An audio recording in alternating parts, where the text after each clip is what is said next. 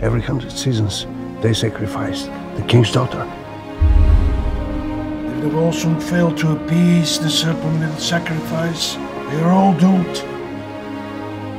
The royal house of the Barok clan welcomes King Volvan into its family.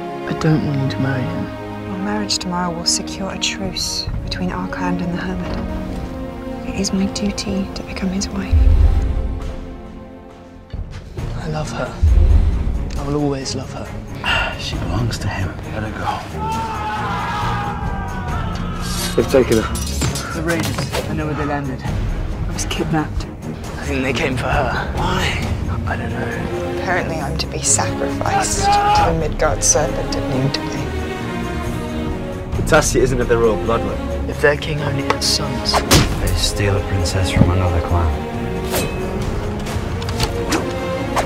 You have nowhere to go except your fate. Our village was attacked.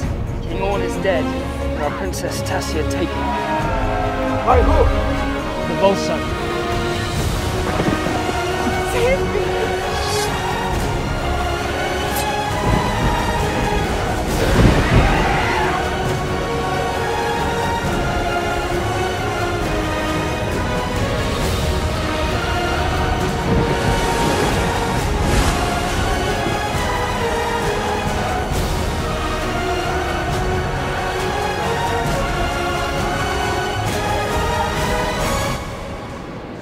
Die here, my friend.